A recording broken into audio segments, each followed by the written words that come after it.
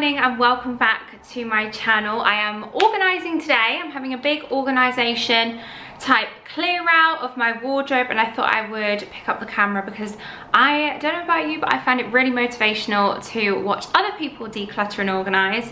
Gets me in the mood to do it myself. So hopefully if you um, are after a bit of motivation then maybe you could pop this video on and let's do it together. Why not?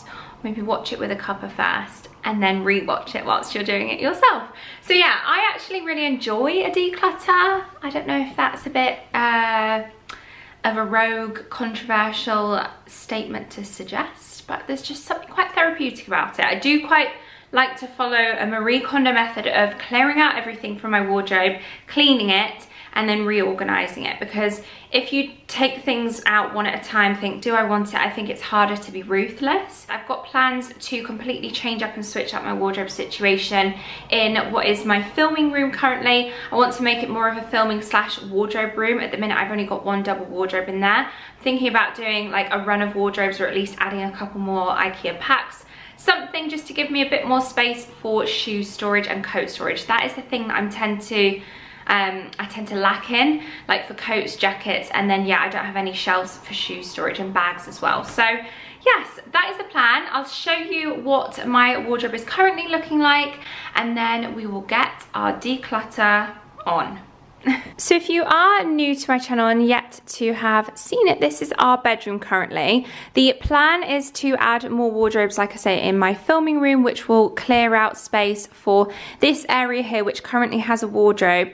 This is just an Ikea Pax wardrobe. It doesn't look good there. I don't think it fits. I think the fact that there's a big gap and the larger Ikea wardrobe didn't fit in there. So it just kind of looks a bit odd placed there. So um, yeah, the intention is to eventually get rid of this wardrobe in here and then maybe just have some kind of a chair in that space or something, or maybe even move this ladder over there, I'm not sure. But just to style it up and actually have no wardrobes in here, just these drawers and then our laundry basket and our bedside drawers as well. But I will save that for another video and for the purpose of this video, let me open it up and show you what is inside this wardrobe. So these are the taller Ikea wardrobes with, um, I've got a shelf at the top just with a couple of random bits in. There's actually some space up there so I can utilize that. And then on the top rail, I tend to have all of my like knitwear, any kind of shirts that I've got satin shirts, knit vests, and then dresses over here. And then on the bottom, it is all of my bottoms that I own essentially. So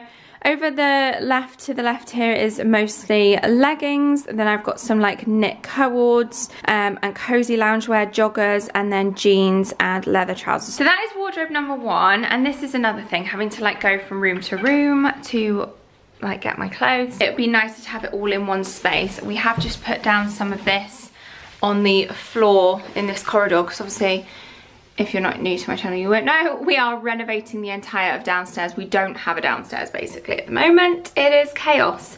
So instead of traipsing dirt around this corridor, we thought we'd just put these, um, what's it called?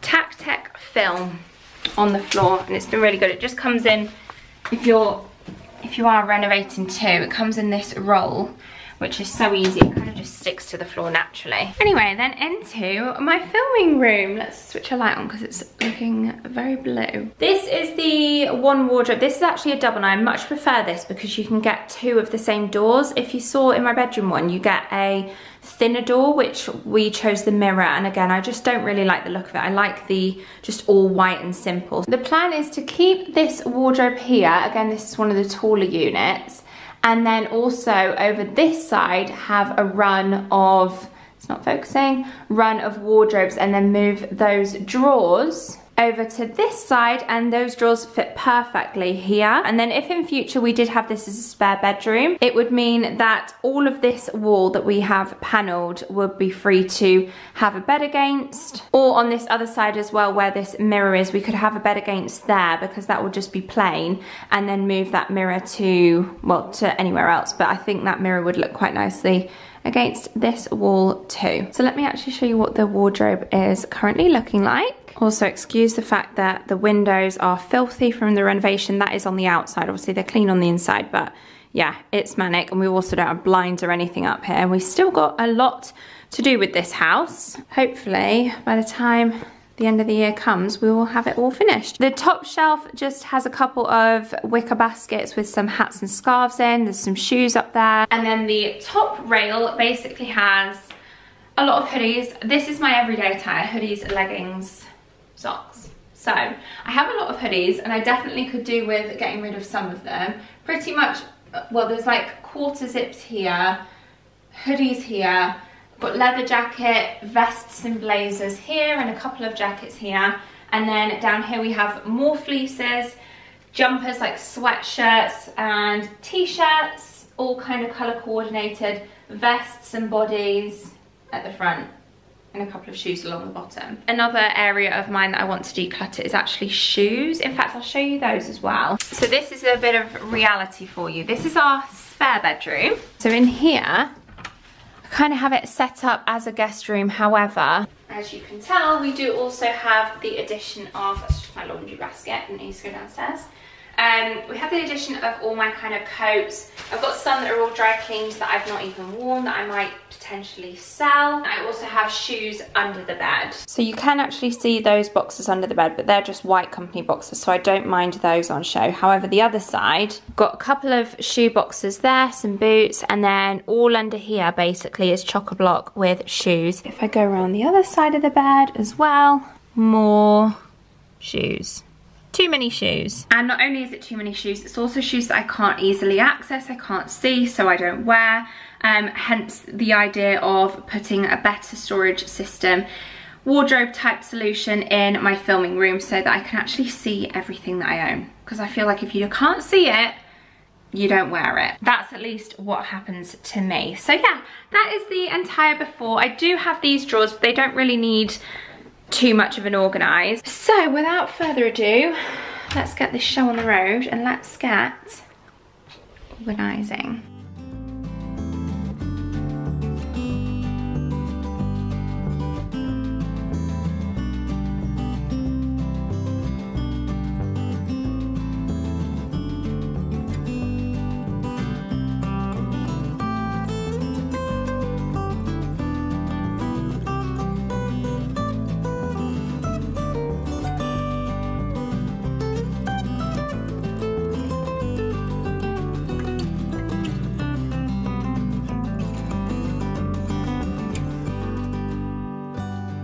Are making good progress. I thought I'd also just mention what I am wearing in case anyone is interested because again, these leggings and jumpers I practically live in most days so hence why I have quite a few of the same thing.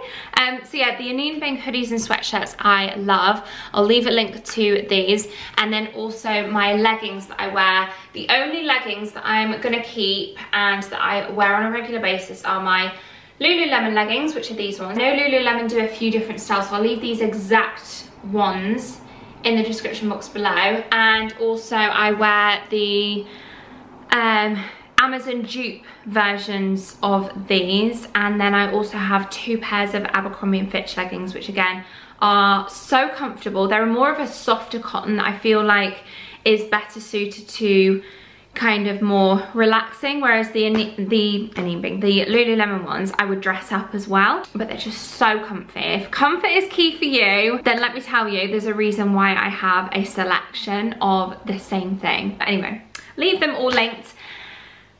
Break over. Let's get back to organizing feel like I've started filming this maybe a little bit late on in the day because the sun is already setting. So I am going to have to probably pick this up tomorrow as well. Hello Barney, he's come to join me. You want to say hello to everybody? Oh. Speak. yes. Oh, good boy. Leather trousers I'm going to start with and I actually only have a few pairs so I'm probably going to keep them all. This is the recent, most recent pair that I've got from Abercrombie & Fitch and these are amazing. They're the 90s straight ultra high rise. They're more of like a trouser whereas I also have leather leggings. Now I probably don't need both pairs and I think the Topshop ones are my classic faves. I also only use these velvet hangers. I've just gone and picked up another pack of 25 because they're so thin and because the velvet, they're non-slip. So if you've got like silky dresses or anything, they honestly don't budge. I'll leave my favorites um, linked in the description box. And then I do also have one other pair of leather leggings and these are in like a nice light neutral colour and they are from Because of Alice. And then for jeans, again, I don't have that many to um, clear out. I've just got a black pair which are from Primark, a couple of pairs of denim, like blue denim. This one, I think these ones are my favourite. These ones are the, yeah, these are the mango ones. And then I also have these, which I think I might get rid of. These are the Primark ones. But because I already have a light pair, I always reach for those over these. Lastly, on jeans, I have this light wash. I mean, it's really hard to see with the sunlight, but like a stone kind of colour. So again, my Primark ones I will keep, but I think I might get rid of these ones. These ones are from Everlane. Mind you, they are a nicer option to have as a smarter pair. The reason why I'm saying I'm going to get rid of these ones is they're the, the fit of them, they're more of a straight leg. I actually think I will keep these because like I said, they're just slightly more smarter look. Yeah, I am going to keep those and they are lovely.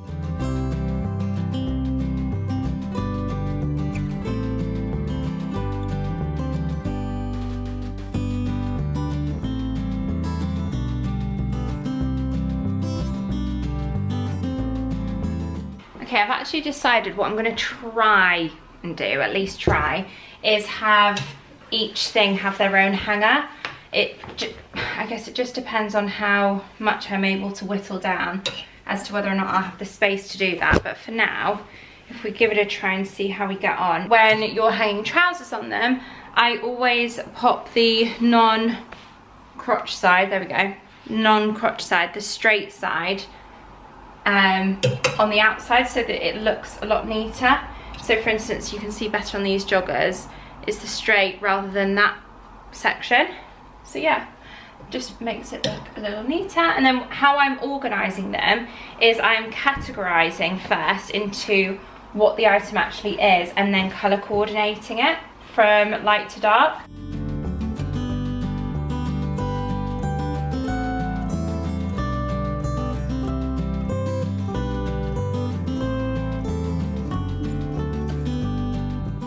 So when it comes to bin bags, ordinarily I would have a kind of charity bin bag, um, you can't even see me, charity bin bag, a charity pile, a sell pile, um, and a bin, you know, like if they're really worn down, or recycle. Um, but I don't feel like I'm gonna have that much to sell. So I feel like I might just basically bin bag everything that I'm gonna take to the charity so that, um, yeah, I end up just having a lot to donate and um, if I do have the odd item for sale then I can just put it to one side because like I said I don't think I'm going to have I don't think I'm to have that much really. Broken hangers along the way. The handle is literally about to break off and then any mismatched handles, uh, handles, hangers, basically anything that aren't black velvet are also going. I'll ask Tom if he wants any spare, but I think he'll also want to just have all black velvet. So these are for the bin.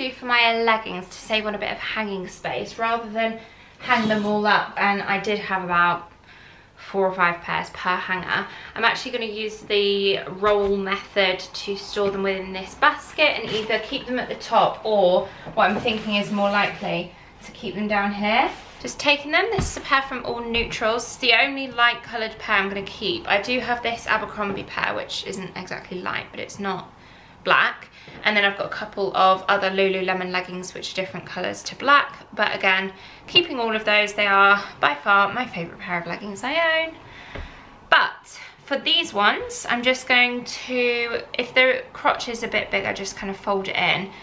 Fold it kind of, not really in half, like a third, and then just roll, like so. These ones are quite thick, so I guess they'll take up a lot of space. And then I'm just gonna, I don't know, just do them in colour, colour order. What I'll probably do actually is two rows that way and that way.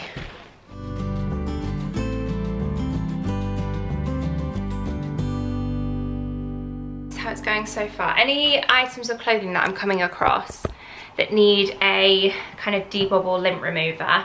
I've shown this before I think, but this from Minky, this lint remover debobbler is so good. It's so satisfying as well. Look at all that fuzz that I've got. If you haven't seen one of these before, it just switches on on the back, battery powered, and you just kind of rub that against the item of clothes that have like bobbles on that need removing and it literally just kind of cuts them off. Nice and gentle though, I mean, I used it, you know, on like Lululemon leggings, so it's absolutely fine. And I'll leave this exact one linked below for you.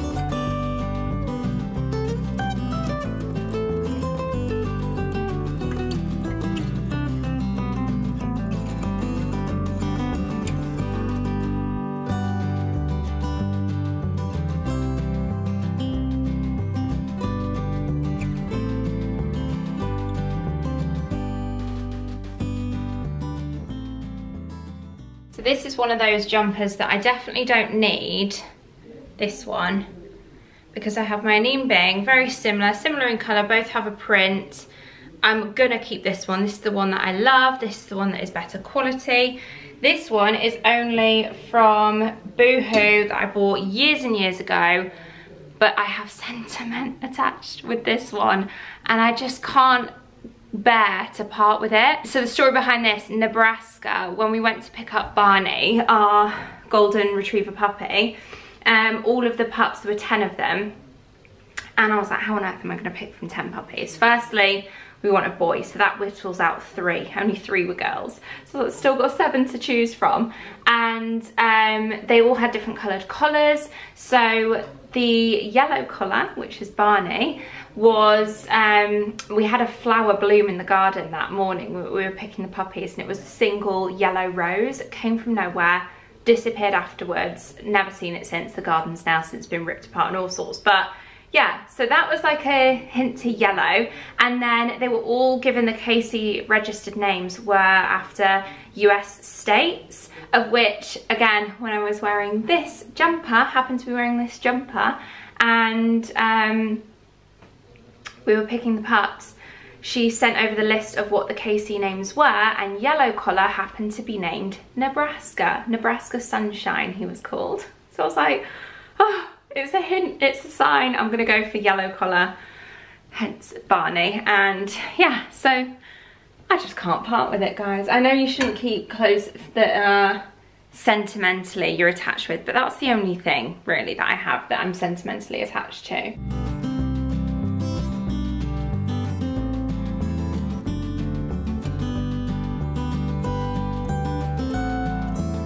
So these are the two baskets that I have. They're from Ikea. These are at the top of my wardrobe and I have in here hats and then in the other one like cozy hats and scarves. Now caps, to be honest with you, I wear them but not that often. So I definitely don't need this many.